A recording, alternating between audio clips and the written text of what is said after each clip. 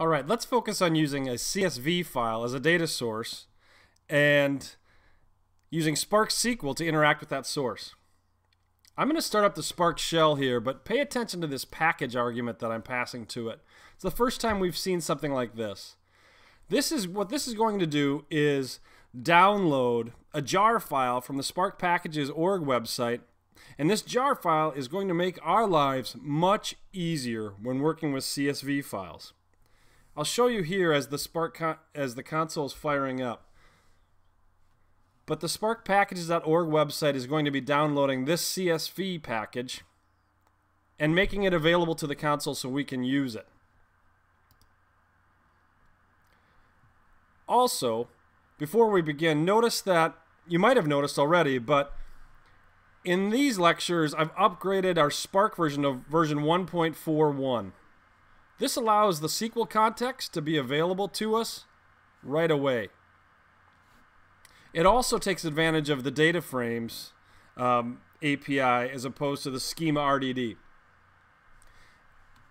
Like previous examples, we're going to continue to use the baby name CSV file because it will work fine for us. And we, I'm presuming you already have it available to you. So how do we load that baby names file? We're going to load a little bit differently in this case because we're going to use the SQL context. In the SQL context, we're going to specify the format to use and we'll take advantage of the CSV package. That's this argument here, com databricks spark CSV. And then we're going to pass it a couple options, such as the first line is the header row, and it is fine to infer the schema from this data. In other words, SQL context take your best guess at the type of values you're reading. Is it an integer? Is it a string? Etc. And then lastly, we'll use load again to specify which file we want to load.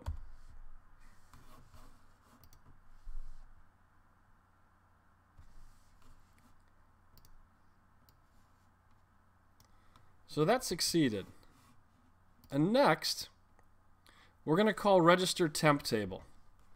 And register temp table, as I mentioned in the introduction, is what makes it convenient for us to actually use SQL as if that temp table was, well, a table. For example, now that we've registered that table, we can run SQL. And this SQL, hopefully you recognize, is we're just trying to find the distinct years in the baby CSV file or the names table.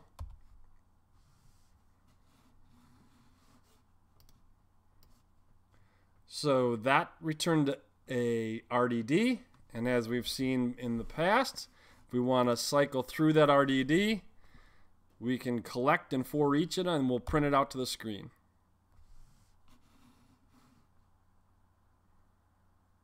All right, so we're rolling here. I want to show you a couple other th things that you might find health might find uh, valuable. Data frame RDD allows us to call, call print schema. So we can learn about what sort of types were inferred. We see that it's been integer, string, string, and integer. Okay, that looks good. Let's let's work on a little bit more, uh, let's say complicated examples, but also similar to what we have done in the past with our actions and transformations. What if we run this SQL query where we're going to call out the distinct first names and we're going to order by the count that they occur per county and we're going to limit, limit it to 10. Okay, so we have a new data frame, RDD, and now let's print it out.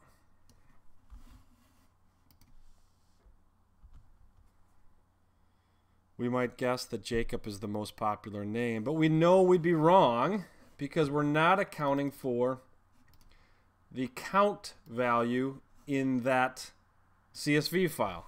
Hopefully this sounds familiar. So let's change that query to, to sum the count column here, if you can see that count, and this we'll call sum on it. We're also using things that I didn't mention in some of these other queries, things like group by, order by, um, descending, ascending is fine. We're limiting it. So this should look very familiar to people with a SQL background. Let's take a look at what this looks like now.